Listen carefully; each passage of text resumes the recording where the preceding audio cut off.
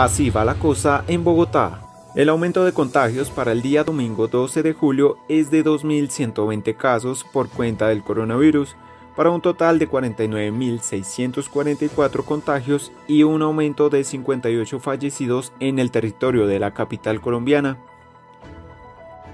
Debido al incremento de contagios y a la alerta roja declarada en las unidades de cuidado intensivo por la superación del 75% de capacidad, a partir del día lunes 13 de julio, la ciudad de Bogotá entra en alerta naranja y con ello el plan de cuarentena estricta por localidades. Esto para atravesar el pico de contagios que se espera que sea entre mediados y finales de agosto. Esta medida, que irá del 13 de julio al 23 de agosto, se tomará de la siguiente manera. Habrá tres grupos de localidades que se turnarán para cumplir con la cuarentena estricta cada 14 días.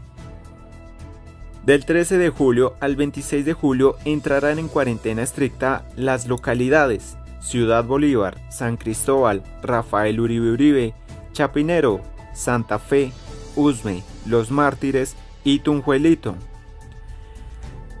Del 27 de julio al 9 de agosto entrarán en cuarentena estricta Bosa, Kennedy, Puente Aranda y Fontibón. Del 10 de agosto al 23 de agosto entrarán en cuarentena estricta Suba, Engativá y Barrios Unidos.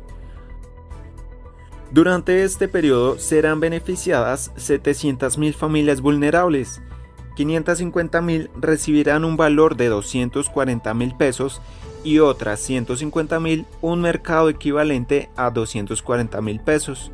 Esto porque hay familias que no tienen cómo recibir una transferencia de dinero. Durante el periodo de restricción se exceptúan las personas y vehículos indispensables para la realización de las siguientes actividades. Abastecimiento y adquisición de alimentos, productos farmacéuticos, de salud y de primera necesidad. Entre las 5 de la mañana y las 8 de la noche recuerde que solo puede ir una persona por hogar.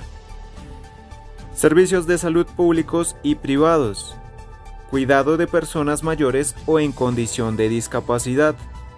Por un asunto de orden público, seguridad y atención sanitaria.